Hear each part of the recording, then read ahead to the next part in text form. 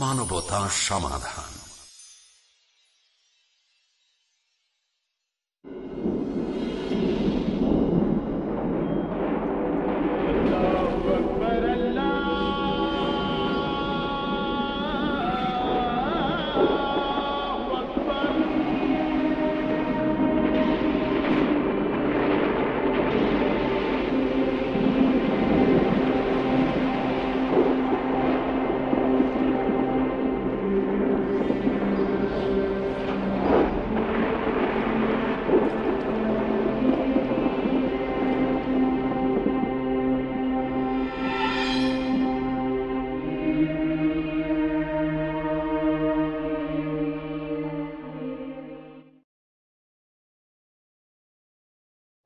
আসসালামু আলাইকুম রহমতুল্লাহি ওবরাকাত আলহামদুলিল্লাহ ওসলাত আসসালামু আলা রসুলিল্লাহ ওয়ালা আলিহি ও আসহাবিহি ওমান ওয়ালা আম্মা বাদ পিসটি বাংলার দূরের কাছে সম্মানিত সুদী দর্শক পৃথিবীর যে জায়গা থেকে বসে আপনারা আমাদের সাথে অনুষ্ঠানে যোগ দিয়েছেন আপনাদের সকলকে জানাই প্রাণ ঢালা শুভেচ্ছা ওর আনিল করিমের ঘটনা সোরা লোকমান এ বর্ণিত আয়াতসমূহের আলোকে লোকমান আল্লাহর একজন বান্দা।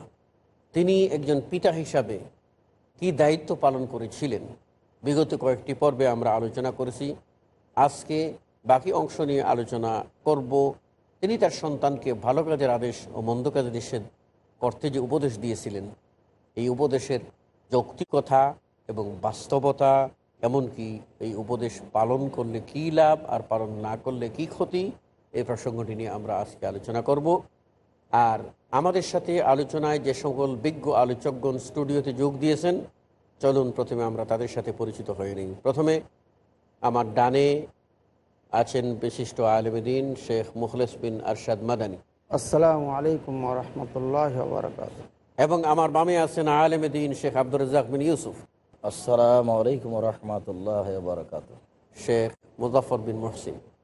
আসসালামু আলাইকুম রহমতুল্লাহ ওবরাকাত সম্মানিত সুদি, আপনাদের সাথে রয়েছি আমি হারুন হোসেন। বলছিলাম, লোকমান পিতা হিসাবে তার সন্তানকে কী উপদেশ দিয়েছিলেন ভালো কাজের আদেশ দিতে আর মন্দ কাজ থেকে বারণ করতে। তিনি তার ছেলেকে বলছিলেন, বাবা, তুমি সলাৎ কায়েম করবে। ও অমর বিল মারুফ ওয়ানহা আনিল মুনকার। ওয়াসবির আলা মা আসাবাক। আজমিল উমুর। এই প্রসঙ্গ নিয়ে আলোচনার সূত্রপাত করার জন্য আমি আহ্বান জানাচ্ছি শেখ মুজফর বিন মহসিন। আলহামদুলিল্লাহ রবিল আলমিন ওসালাত ওয়াসালাম আলা আশরাফিলাম্বিয়ালমুরসালিন ওবাদ ধন্যবাদ মাননীয় পরিচালককে। লোকমান রদিয়াল্লাহ আনহ, তিনি আরেকটি গুরুত্বপূর্ণ কাজ করার জন্য বললেন, সেটা হলো ইসলামী দাওয়াতের বা তাওহিদি দাওয়াতের মূলনীতি। ওয়ামুর বিল মারুফ, সৎ কাজের আদেশ দান করবা ওয়ানহানিল মুনকার অসৎ কাজ থেকে বাধা দান করব।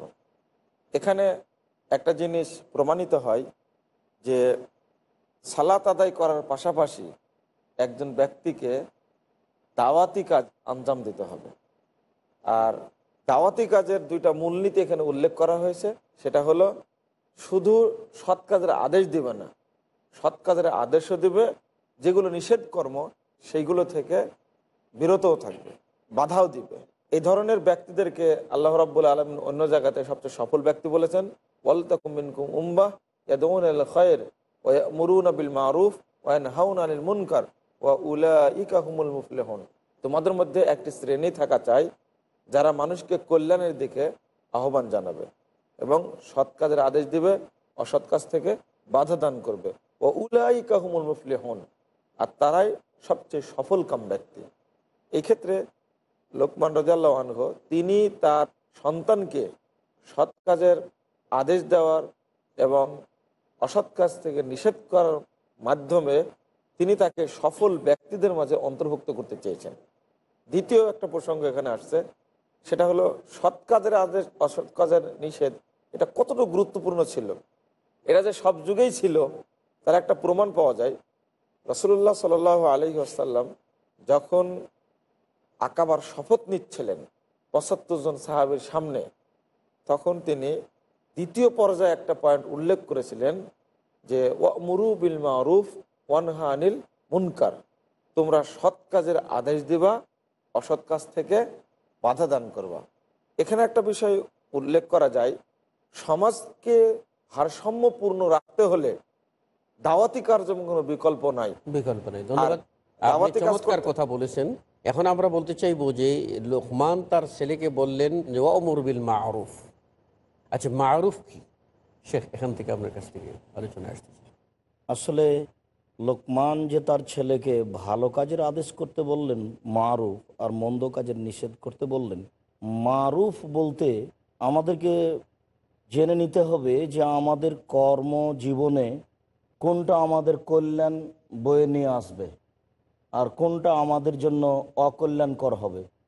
প্রত্যেক ভালো কথা প্রত্যেক ভালো কর্মই হচ্ছে মারুফ। আদায়- ভালো ভালোটা নির্ণয় করবে শরীয়ত। ভালোটা নির্ণয় করবে শরীয়ত। কোরআন এবং হাদিসের দৃষ্টিতে যেটা হবে ভালো সেটাই মূলত ভালো। এখন ভালো কাজের আদেশ আবার আমাদের ওই প্রথম থেকেই শুরু হবে। শির্কের জন্য মানুষকে নিষেধ করবে শির যেন না করে। তাওহিদের পথে আহ্বান সালাতের- জানাবে। না প্রথম হলো আদেশ সুতরাং। তাওহিদের তাওহিদের তাওহীদের আদেশ করবে শির্ক থেকে বিরত রাখবে সলাত আদায় করার জন্য বলবে শ্যাম পালনের জন্য বলবে আপনার প্রয়োজন হলে জাকাত আদায়ের জন্য বলবে। ভালো কাজের আদেশ যেটা আল্লাহ তালা অন্য জায়গাতে স্পষ্টভাবে বলেছেন অল মেনুনা অল মেনাত মোমেন পুরুষ মোমেন নারী পরস্পরে বন্ধু শুভাকাঙ্ক্ষী একজন আর একজনের কল্যাণকামী। এবার শুরু হচ্ছে ভালো কাজগুলি। ইয়া মরুন আবিল মারুফে ওয়ান হাওনা আনিল মুনকার। তারা ভালো কাজের আদেশ করবে মন্দ কাজের নিষেধ করবে। ওয়ুকিমুনাসলা তারা সলাত আদায় করবে। ওয়ুতুনাস জাকা তারা জাকাত প্রদান করবে। তারা আল্লাহকে মান্য করবে এবং তার রাসুলের আনুগত্য করবে। আলাইহিম তখন আল্লাহ তালা তাদের প্রতি কি করবেন? দয়া করবেন। করবেন। তাহলে এই আয়াত দ্বারা আপনার উল্লেখিত আয়াত দ্বারা স্পষ্ট হয়ে যাচ্ছে জি, জি। যে মারুফ বলতে কি? সলাৎ কায়েম করা। মারুফ বলতে জাকাত দেওয়া। মারুফ বলতে আল্লাহর আদেশ পালন করা। রসুল সাল্লাহ আনুগত্য আনুগত্য করা। এগুলি হলো মারুফের আমি এখানে একটা কথা বলতে চাই মাধ্যমে আরেকটা জিনিস আছে। অসৎ কাজ থেকে বাধা দেওয়াটা অনগত্য করা। যে আমরা অনেক জিনিস ভালো মনে করি কিন্তু আসলে ভালো না। এক নম্বর আল্লাহ বলছেন যে ওল আসরি আসরের সময়ের কসম খেয়ে বলছি আমি। এখানে আরও ব্যাখ্যা আছে যাচ্ছি না ওদিকে। ইন্ডিয়ান ইনসান আলাফিয়া খুসর যে সমস্ত মানব জাতি হচ্ছে আপনার ক্ষতিগ্রস্ত। ইল্লা কিন্তু শুধুমাত্র যারা ইমান এনেছে। তাহলে বোঝা যাচ্ছে ইমানটা হচ্ছে অত্যন্ত গুরুত্বপূর্ণ জিনিস। তো প্রথমে আমরা মারুফ ধরে নেব ইমান ইমান বিল্লাহ ইমান বিল মালাইকা ইমান বিল রসুল। যেটা আরকানে সিত্তা, ছয়টা যেটা ইমানের আরকান রয়েছে। তারপরে ওয়ামিলুসলেহা আমি ইমান আনলাম কিন্তু নেক আমল করলাম না। তাহলে কিন্তু মারুফ হলো না। নেক আমল করতে হবে। তারপরে নেক আমল করার পর অথবা সব হাক। সত্যর দিকে আপনাকে, আমাকে ডাকতে হবে মানুষকে। তারপরে সত্যর দিকে ডাকতে যে যখন কোনো কষ্ট আসবে, সেখানে ধৈর্য ধারণ করতে হবে। সুরা আসরের ব্যাপার এটা। ইমাম শাফি রহমাল্লাহ বলেছেন যে, একটি সুরা যদি আল্লাহ নাজিল করতেন, তাহলে এনাফ হইত মানব লাইফের জন্য। কিন্তু আল্লাহ পাক রব্বুল আলমী দয়া রহমান রহিম বারবার কোরআন নাজিল করে আমাদেরকে উৎসাহী করেছেন। তারপরে মারুফ আমরা ওই কাজকে বলব, যে কাজকে আল্লাহ পছন্দ করেন এবং আল্লাহ সন্তুষ্ট থাকেন। প্রত্যেক ওই কাজ, আর শুধু সলাৎ না, শুধু জাকাত না, শুধু হজ না, বরঞ্চ আমার প্রত্যেকটি চলা, ফিরা, কথাবার্তা, উঠা, বসা, ব্যবসা, বাণিজ্য, এমনকি স্ত্রীকে খাওয়াচ্ছি, এটাও কিন্তু মারুফ। ছেলে মেয়েকে লেখাপড়া শেখাচ্ছি, দিনের কাজ শেখাচ্ছি, এটা মারুফ। আমরা কিন্তু মারুফ বলতে শুধু সলাতে পাঁচটাকে মনে করি। কিন্তু আসলে না, প্রত্যেকটি হারাকাত আমার চলা, আমি যে চলতেছি, আমি কিসের জন্য? দিন শিক্ষার জন্য যাচ্ছি। তাহলে ধাপে ধাপে নেকি তপ করতেছি, প্রতি ধাপে ধাপে একটা নেকি, একটা গুণা মাফ হয়ে যাচ্ছে। সলাৎ পড়তে যাচ্ছি, ধাপে একটা নেকি, একটা গুণা কমে যাচ্ছে। তো সবগুলো মারুফ। এমনকি স্ত্রীর মুখে লোকমা একটা দিচ্ছি, এই যে দিচ্ছি তাতে আল্লাহ রসুল বলছে, একটা করে নেকি আছে। এমনকি কেউ যদি গরুকে খাওয়াই আল্লাহর জন্য, ঘোড়াকে খাওয়ায়, আল্লাহর জন্য তার প্রতি লোকমা লোকমাতে একটাকে নেকি পাচ্ছে। তাহলে আমার প্রতিটি কাজই কিন্তু মারুফ হয়ে যাচ্ছে। যদি আল্লাহ এটাকে ভালোবাসেন পছন্দ করেন। যদি আল্লাহ এটাকে ভালোবাসেন পছন্দ করেন সন্তুষ্ট হন তাহলে প্রত্যেকটি কাজ হবে মারুফ। এখন একটা কথা আমি উল্লেখ করে দিতে চাই যে আমি দায়ী। আমি দাওয়া দিচ্ছি। আমি বলছি যে আল্লাহর জন্য এ কাজ করো তুমি জিকির করো। একবার সুহান আল্লাহ বললে পাঁচ কোটি নেকি পাওয়া যাবে। অনেক বক্তা অনেক দায়ী বলে থাকেন এটা। এটা কিন্তু আমরা মনে করছি ভালো কাজের আদেশ করলেন কিন্তু এটা ভালো না। এটা কিন্তু মুনকার। খারাপ করলেন। মানে হাদিসে কোথাও নাই যে পাঁচ কোটি একবার সুবান আল্লাহ বা এক কোটি বা এত নেকি সুবান আল্লাহ পড়লে আছে। যেটা হাদিসে নাই সেটা যদি বলি এটা কিন্তু মুনকারে আসবে। এই জন্য প্রত্যেক দায়ীকে আগে মারুফ কি জিনিস এটা চিনে নিতে হবে জেনে নিতে হবে। ধন্যবাদ আপনাকে চমৎকার কথা বলেছেন। আমি যে কথাটা বলতে চাচ্ছিলাম আমরা আগেও ওই কথাটা উল্লেখ করেছি যে মানদণ্ড হবে শরীয়ত। শরিয়াত। শরীয়ত যে কাজগুলি পছন্দ করবে সেগুলি মারুফ।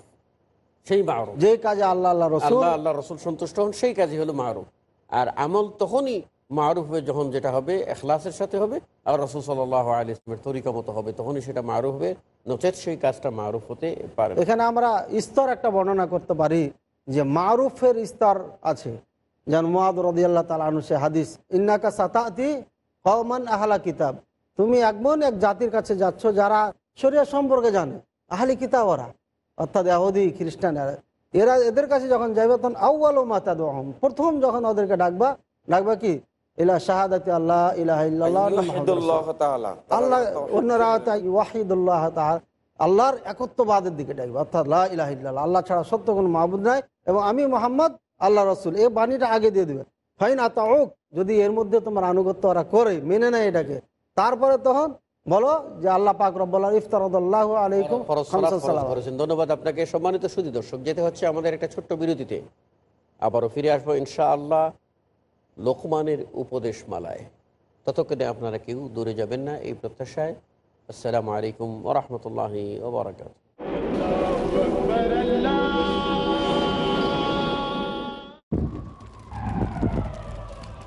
Dialogue. Dialogue. Dialogue. Discussion. Discussion. Debate. Debate. Debate. Rebuttal. Rebuttal. Conclusion. Conclusion. eliminate misconceptions about religion, get enlightened. Witness Dr. Zakir Naik in a battle of words. দেখুন সম্মুখ সমরে প্রতি বৃহস্পতিবার রাত নটায় আপ পুনঃ সম্প্রচার সকাল সাড়ে দশটায় বাংলাদেশে পিস টিভি বাংলায় নবীজি মুহাম্মদ সাল্লাল্লাহু আলহিসাল্লামের মণিমুক্তা। আবদুল্লাহ ইবনু আব্বাস রাজিয়াল্লাহু আনহু বলেন, রসুল সাল্লাহ সাল্লাম বলেছেন, মাহরাম ছাড়া কোনো ব্যক্তি নির্জনে কোনো মহিলার সাথে মিলিত হবে না। সহি বুখারি সপ্তম খণ্ড, বিবাহ অধ্যায়, হাদিস সংখ্যা পাঁচ হাজার দুশো তেত্রিশ।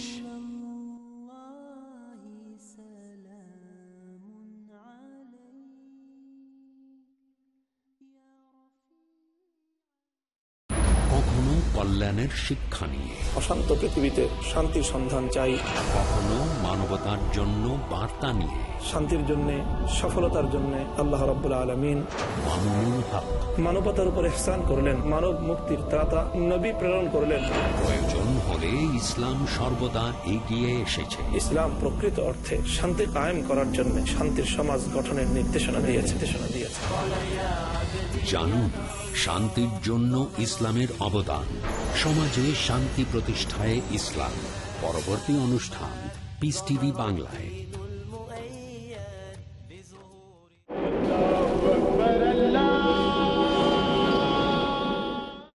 আসসালামু আলাইকুম রহমতুল্লাহি ওবরাকাত শুধু দর্শক, বিরতির পর আপনাদের সকলকে আবারও স্বাগত জানাচ্ছি। আমরা জানতে পারলাম যে লোকমান তার ছেলেকে বলছিলেন ভালো কাজের আদেশ করবে ওনহা আনিল মুনকার ওয়াসবির আলামা আসাবাক শেখ এখান থেকে একটু আলোচনা করেন জি। আমরা মনকার কাজ একটা হাদিসের পূর্ণ বিবরণকে ধরে নিতে পারি। বিভিন্নভাবে রসুল সাল্লাহ আলি সাল্লাম মনকারের যে কথাগুলি বলেছেন যেগুলো শরীয়ত অনুমোদন করে না ও কথা ও কর্মে সেগুলোই মূলত মনকার। তো নিষেধ হিসেবে যেগুলো আমরা পাই সেগুলোকে আমরা প্রথমত মনকার অপছন্দ না যায় হিসেবে গ্রহণ করব। আব্দুল ইবনে আমর রাজিয়াল্লাহ তালাহ বলেন, রাসুল সাল্লাহ আলী হাসাল্লাম বললেন, আকবরুল কাবায়রা সালাসা, তোমরা তিনটি বড় পাপ থেকে বেঁচে থাকো। এক নম্বর বড় পাপ হচ্ছে আল্লাহর সাথে সেরেক করা, দুই নম্বর বড় পাপ হচ্ছে পিতামাতার অবাধ্য চলা, তিন নম্বর বড় পাপ হচ্ছে মিথ্যে সাক্ষী দেওয়া। এই কথাটি রাসুল সাল্লাহ আলি সাল্লাম অন্য জায়গাতে বলেছেন এভাবে যে আল্লাহ তালা তোমাদের উপরে হারাম করে দিয়েছেন। পিতামাতার অবাধ্য চলা, তারপরে বলেছেন ওয়াদাল বানাতে, জীবিত মেয়েকে মাটিতে পুঁতে দেওয়া। তারপরে বলেছেন, মানা ওয়াহাত কৃপণতা করা নিষেধ করেছেন। তাহলে এগুলো হচ্ছে মনকার কাজ। যেমন রাসুল সাল্লাহ আলি সাল্লাম অন্য জায়গাতে বলেছেন, সালাসতুন মঞ্জিয়াতুন ও সালাসতুন মহলেকাতুন। তিনটি কাজ মানুষকে ধ্বংস করে আর তিনটি কাজ মানুষকে রক্ষা করে। তো যে ধ্বংস করে যে কাজগুলি সেগুলি হচ্ছে মনকার। তার একটি হচ্ছে এই যে হাওয়ান মুত্তাবা প্রবৃত্তিকে মেনে নেওয়া হচ্ছে ধ্বংসের লক্ষণ। যা ইচ্ছা তাই করা। যা ইচ্ছা তাই করে। মন চাই আর আর একটা হচ্ছে সহনমতা কৃপণতা করা হচ্ছে ধ্বংসের লক্ষণ। কৃপণতা করলে তার পরকাল হারাবে ইহকালও তার হারাবে মান সম্মান হারাবে। তার একটি মনকার বড়। এ জাবুল মারে বেনাবসেহি ওহে আসাধ্য হন না। আত্ম অহংকার করা। আত্ম অহংকার করা হচ্ছে মানুষের একটা ধ্বংসের মাধ্যম, যেটা খারাপের মধ্যে সবচেয়ে খারাপ। ঠিক এই কথাটি রাসুল সাল্লাহ আলি সাল্লাম অন্য জায়গাতে বললেন যে, ইজতানেব সাবাল মবেকাত তোমরা ধ্বংসাত্মক সাতটি জিনিস থেকে বেঁচে থাকো। তার এক নম্বরে বললেন, শির্ক করো না। দুই নম্বরে বললেন, মানুষকে হত্যা করো না। তিন নম্বরে বললেন, জাদু করো না। চার নম্বরে বললেন, সুদ খায়ও না। পাঁচ নম্বরে বললেন, এতিমের মাল ভক্ষণ করো না। ছয় নম্বরে বললেন, যুদ্ধের মাঠ থেকে পালিয়ে যায় না। সাত নম্বরে বললেন, সতী সাধ্যী নারীর ওপরে অপবাদ লাগায় না। এখানে আর একটা হাতে যোগ করা যায়, সেটা হলো, মূলত তিনি একজন দায়ী, লোকমান রহমাল্লার ছেলে একজন দায়ী। দায়ীকে লক্ষ্য করে বললেন অমুর বিল মারুফ অনহানিল মুনকার। মুনকার। কাছ থেকে বিরত থাকতে হবে। রসুল্লাহ সাল্লাহ সাল্লাম যখন দাওয়াতি কাজের ক্ষেত্রে মুনকার দূর করার কথা যখন বলছিলেন শেখ যেগুলো বলেছেন সিরিয়ালে আসছে আর সিরিয়ালি সিরিয়ালে দেওয়া আছে। সেটা হলো এক নম্বর বললেন লাতুশরিকু তোমরা শিরিক করো না। ওয়ালা তাজনু তোমরা জেনা করো না। ওয়ালা তাসরিকু তোমরা চুরি করো না। ওয়ালা তাকতুল আওলাদাকুম সন্তান হত্যা করো না। ওয়ালা তাতুবে বুহতানিন, আর অপবাদ দিও না। ছয় নম্বরটা বললেন ওয়ালা তাসৌফি মারুফিন, আর সৎ কাজে অবাধ্যতা করো না। রসুল্লাহ সাল্লাহ সাল্লাম যে এগারো নববর্ষে প্রথম যে আকাবার অনুষ্ঠানটা হলো, মদিনা থেকে আসা যুবকদের সামনে, বারো জন যুবকের সামনে, রসুল সাল্লাহ আলাইসাল্লাম এই ছয়টি কাজের ব্যাপারে তিনি বললেন যে তোমরা এইগুলো কাজ থেকে বিরত থাকবে। তাহলে বোঝা যাচ্ছে মুনকার কাজের একটা জি। মনকার কাজের অন্যতম একটা হলো যে নাফরমানি করা। ভালো কাজের নাফরমানি। ভালো কাজ থেকে বিরত নাফরমানি করা, জি, জি। আচ্ছা এখন আমরা এখন আমরা শেখ মুনকার চিনলাম। মোটামুটি একটু। এই যে মনকারের যে নাফারমানি করোনা এই মনকারের নাফারমানি করা কাজটা আল্লাহ তালা মোনাফেকের সাথে লাগিয়ে দিয়েছে। আল্লাহ তালা বলছেন যে অল মোনাফেকুন অল মোনাফেকাত বাজহম মিন বাজ মোনাফেক পুরুষ মোনাফেক নারী পরস্পরের শুভাকাঙ্ক্ষী পরস্পরের সুবিধা বুঝে। এরপরে আল্লাহ বলছেন যে ইয়া মরুনা বিল মুনকারে ওয়ানহানিল মারুফে। মোনাফেক হচ্ছে মুনকারের আদেশ করে আর মারুফের মারুফ নিষেধ করে। নিষেধ করে। আচ্ছা জানতে পারলাম আমরা মুনকার এবং মারুফ সম্পর্কে একটা সংক্ষিপ্ত আইডিয়া হলো। এখন প্রশ্ন হচ্ছে এই যে দায়িত্ব যে আমরুবিল মারুফ এবং নাহিয়ানিল মুনকার এই দায়িত্ব পালনে উপকারিতা কি আর দায়িত্ব পালন না করলে অপকারিতা কি? জি, এখানে খুব গুরুত্বপূর্ণ একটা বিষয় যে দায়িত্ব পালন করলে যে উপকারটা পাওয়া যাবে, সেটা তো আগে বললাম উলাই কাহমুল মুফলেহন, তারা হলো সফল কাম ব্যক্তি। মূলত এই দুইটা কাজের অত্যধিক গুরুত্ব রয়েছে। আর এই দুইটা কাজ যখন মানুষ করতে যাবে, তার জন্য অনেক কষ্টও রয়েছে। যার কারণে একটি হাদিসে রসুল সাল্লাহ সাল্লাম বলছেন যে, মান তাওয়াদ আলিল্লাহ রফাহু যে ব্যক্তি আল্লাহর জন্য বিনয়ী হয় প্রত্যেকেই দাওয়াতি কাজের ক্ষেত্রে এটা উল্লেখ করেছেন। দাওয়াতি কাজ করতে গেলেই যেন কোনো একটা কাজে বাধা দিবে বা কথা বলবে, তারা বলি কি না, বললেই যেন কি বলে। যদি বলি, ভাই সালাদ তাই করেন তখন হঠাৎ উল্টা বলতে পারে, তোমার ভাইটা যে সালাদ পড়ে না, তা তুমি দেখতে পাও না তাকে বলো কি? মানে আমাকে নসিহত করতে আসছে। হ্যাঁ আমাকে নসিহত করতে আসতো এটা ওটা বলতেই পারে। এরপরেও রসুল্লাহ সাল্লাহ আলাইসাল্লাম উৎসাহিত করছেন বলুক তোমাদেরকে তাতে কি সমস্যা? ওই হাদিসের শেষে যদি এই কাজ কার্যক্রম যে চালাবে রসুল সাল্লাহ সাল্লাম বলছে, রফাহু যে আল্লাহর জন্য বিনয়ী হয় নত হয় ছোট হয় আল্লাহ রব্বুল আলমিন তার মর্যাদাকে বৃদ্ধি করে দিবেন। আমাদের বিজ্ঞ আলোচক যে কথাগুলি উত্থাপন করলেন তার ভিতরে স্পষ্ট হয়ে গেল। যে আমরবিল মাহরুফ নাহিয়ানিন মুনকার। ভালো কাজের আদেশ দেওয়া আর মুনকার বা খারাপ কাজ থেকে মানুষকে বিরত রাখতে উপদেশ দেওয়া। এই দায়িত্ব পালন করতে আল্লাহ রসুলাম নির্দেশ দিয়েছেন নির্দেশ দিয়েছেন দৃঢ়তার সাথে। আর বলেছেন, কেউ যদি এই দায়িত্ব পালন না করো তোমরা যদি দায়িত্ব পালন না করো, ফল কি দাঁড়াবে? যে আমভাবে তোমাদের উপরে আজাব ও গজব নেমে আসবে। আর ওই সময় হবে অন্তিম মুহূর্ত, তোমরা যখন কাঁদবে, হাহাকার করবে, চিল্লাবে তোমাদের কান্না কেউ শুনবে না অর্থাৎ আল্লাহ তোমাদের দোয়া কবুল করবেন না। তাহলে বোঝা গেল ভালো কাজের আদেশ দেওয়া আর খারাপ কাজকে নিষেধ করা এত এতপূর্ণ গুরুত্বপূর্ণ দায়িত্ব। এই দায়িত্ব পালন না করলে বিপদ ও গজব নেমে আসবে। যা আজকে আমরা দেখতেছি। বর্তমানে ভালো কাজের আদেশ এবং খারাপ কাজ থেকে নিষেধ। বিশেষ করে দেখা যায় যে কোথাও কোথাও আমরুমিল মারুফ হচ্ছে ভালো কাজের আদেশ হচ্ছে কিন্তু খারাপ কাজ থেকে মোটেই নিষেধ করা যাচ্ছে না। বরং আমরা বলছি এটা শয়তানের পথ। আল্লাহ ওরা কোথায় লেবিলা এই পথে যাইও না। এই বলে আমরা মন্দ কাজের দরজা খুলে দিয়েছি। মন্দ কাজ থেকে আমরা নিষেধ করছি না। বলে দেখা যাচ্ছে যে আমাদের ওই শুধু ভালো কাজের কথা বলা কোনো কাজে আবার মন্দ কাজে আমলগুলো নষ্ট হয়ে যাচ্ছে।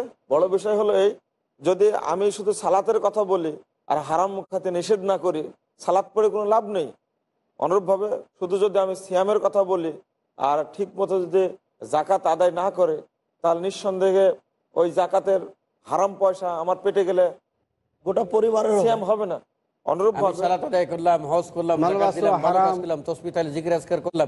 মানুষের হক নষ্ট করলাম করছে। নিঃসন্দেহে এই ব্যক্তির কোনো ইবাদত কবুল হবে বিষয়টা এমন অনেক সময় হয় যে সালাত আদায়ের ক্ষেত্রে প্রথমে উজুর দরকার হয় তারপরে পোশাকের দরকার হয়। যদি পোশাকটাই যদি হারাম হয় তাহলে আমার সালাদ পড়ে কোনো লাভ নেই। অজুটা করব আমি অজুর পানিটাও যদি হারাম হয় তাহলে অজু করে কোনো লাভ নেই। সেই ক্ষেত্রে যেগুলো বৈধ কাজ সেগুলো করার জন্য আগে অবৈধ। আপনি বলবেন পানি দিয়ে আমি উজু করতেছি কিন্তু আমার টিউবওয়েলের পানি কিন্তু আমি টিউবওয়েল যে আরেকের জমিনে পুঁতেছি জুল করে জমিন দখল করে। না এটা তো হতেই পারে আর একটা জিনিস হতে পারে। তাহলে কি সেটা কি আরেকটা কথা আপনার জিজ্ঞাসার উত্তরে বলতে পারি। জি। যে ভালো কাজের আদেশ না করলে সবাই তো ধ্বংস হবে হবেই। ভালো কাজের বিষয়টিতে যদি মানুষ অলসতা করে, তবেও ধ্বংস হবে। এ ব্যাপারে রসুল সাল্লাহ সাল্লাম খুব খোলাখলিভাবে বলেছেন যে, মাসালুল মুদহিন ফি হদুদিল্লাহ ওয়াকে ফিহা। যারা ভালো কাজে অলসতা করে, তাদের দৃষ্টান্ত। আর যারা ভালো কাজ করে, কিন্তু ভালো কাজ আর করার ব্যাপারে অলসতা করে, এদের দৃষ্টান্ত। মাসালুল মদিহিন ফি হদুদিল্লা আল্লাহর বিধানে যারা অলসতা করে, তাদের দৃষ্টান্ত হচ্ছে মাসালহম কামাসালে কমিন এক সম্প্রদায়ের মতো, ইস্তাহামু সাফিনাতান, যারা একটা নৌকা ভাড়া নিয়েছিল। ফাসরা ফি আল্লাহ আসরা বাজুম ফি আসপালেহা তার কিছু লোক হয়েছিল উপরতলায় আর কিছু লোক হয়েছিল নিচে তলায়। নিচের লোকেরা পানি আনতে উপরে যেত, ফলে উপরের লোকের কষ্ট হতো। তখন লোকটা নিচে এসে একটা কুড়াল নিয়েছে। কুড়াল নিয়ে নিচের অংশ ছিদ্র করতে আরম্ভ করেছে। এখন উপরের লোক এসে বলছে, মালাক, ব্যাপারটা কি? তুমি এরকমভাবে ছিদ্র করছ কেন? তখন বলছে, দেখেন, উপরে পানি আনতে গেলে তা লাতাজাই তুমি ওয়ালা বুদ্দালি মিনাল মায়। আপনাদের খুব কষ্ট হয় আমাদের পানিরও প্রয়োজন। এই জন্য নিচের দিক ছিদ্র করে পানি বের করছি। আল্লাহ রসুল সাল্লাম বললেন, ওরা যদি তাকে বাধা দেয়, তাহলে তারাও বাঁচবে ও লোকটাও বাঁচবে। আর যদি ওরা তাকে ছেড়ে রাখে যে তুমি তোমার কাজ করো তুমি তো নিচে তালায় সবাই। তাহলে ওই ব্যক্তিও ধ্বংস হবে সমস্ত ব্যক্তি ধ্বংস হবে। ভালো কাজ থেকে বিরত থাকলে সবাই তো ধ্বংস হবে হবেই। মন্দ কাজ থেকে- মন্দ কাজ থেকে যদি মানুষ বাধা না দেয়। বাধা না দিয়ে অলসতা করে তবুও সবাই ধ্বংস হবে। সবাই যে ওই যে আপনার একটা হাদিস আছে আমাদের এই দায়িত্ব। কুল্লুকুম রাইন কুল্লুকুম রাইয়াতিহি। যে আজকে আমাদেরকে আদিষ্ট করা হয়েছে যেমন শেখ একটা আয়াত পড়েছেন অলতাকুমিন কুম্মতিয়াদুনা ইলাল খাইর ভালো কাজের আদেশ করবে এমন একটা দল থাকবে। তারপর কুন্তুম খাইর উম্মাতিন উখরিজাতিল নাস তামুন্না বিল মারুফ ওয়া তানহাউনা আনিল মুনকার। তোমরা উত্তম উম্মাত এই জন্যই যে তোমরা ভালো কাজের আদেশ করো অসৎ কাজ থেকে নিষেধ করো। তো এখন এগুলো যদি না করি তারপরে আমাদের কি সমস্যা ঘটবে? যে আল্লাহ নবী সাল্লাম বলছেন তোমরা প্রত্যেকই দায়িত্বশীল। আর প্রত্যেককে জিজ্ঞাসা করা হবে কেয়ামতের দিন দায়িত্ব সম্পর্কে। এমনকি যে বাড়ির খ্রিস্টান রয়েছে কর্মচারী রয়েছে এও যদি মালিকের দায়িত্বে অবহেলা করে তাহলে তাকে ধন্যবাদ আপনাদেরকে। সকলকে এত সুন্দর আলোচনার জন্য। শুধু দর্শক লোকমান তার ছেলেকে মৌলিক উপদেশাবলী দিয়েছিলেন। তার মধ্যে অন্যতম ছিল বাবা তুমি ভালো কাজের আদেশ করবে খারাপ কাজ থেকে তুমি নিষেধ করবে। সমাজ আমরা যদি বাস্তবে তাকাই তাহলে দেখতে পাবো সমাজের মধ্যে হয়তোবা এমন সমাজ পাওয়া যাবে যাতে দুটোই নেই ভালো কাজের আদেশও নাই মন্দ কাজের নিষেধও নাই। আবার কোথাও দেখা যাবে যে ভালো কাজের আদেশ আছে মন্দ কাজগুলির কোনো নিষেধ নাই। এই অবস্থায় সবটাই হচ্ছে ধ্বংসের দিকে ধাবিত। অতএব লোকমানের উপদেশ সামনে রেখে আমরা আমাদের ভবিষ্যৎ প্রজন্মকে গড়ে তুলি, তারা যেন নৈতিকতার ভিত্তিমূলে গড়ে ওঠে এবং আমরুবিল মারুফ এবং নহিয়ান মুনকারের গুরুদায়িত্ব আঞ্জাম দিতে পারে। আল্লাহ রবুল্লাহ আলমিন আমাদের সকলকে তৌফিক দান করুন আমিন আসসালামু আলাইকুম রহমতুল্লাহি ওবরাকাত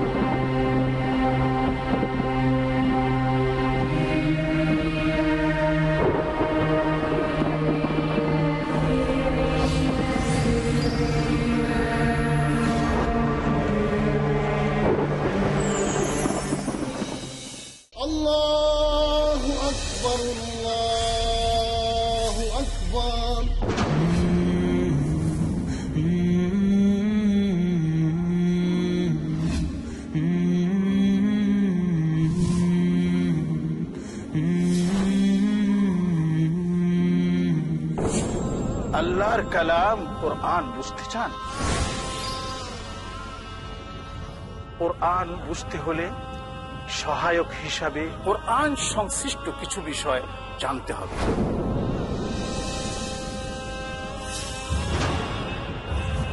এ বিষয়গুলো আলোচিত হয়েছে রুলুমুল কোরআন শিরোনামে। রুলুমুল কোরআন সিরিজ শুনতে ও দেখতে আমার উপস্থাপিত প্রোগ্রামে চোখ রাখুন একমাত্র পিস টিভি বাংলায় اقرأ وخيا ورتل القرآن اصبح بصوتك কোরআনকে ভালোভাবে বুঝবার জন্য কি কি বিষয়ে জ্ঞান রাখা জরুরি জানতে হলে দেখুন উলমুল কোরআন ও ইসলামী আদর্শ প্রতি রবিবার রাত সাড়ে আটটায় বা পুনঃ সম্প্রচার সকাল সাতটায় বাংলাদেশে পিস টিভি বাংলায় marriage O divorce Islamic ruling? Nikah. solution or problem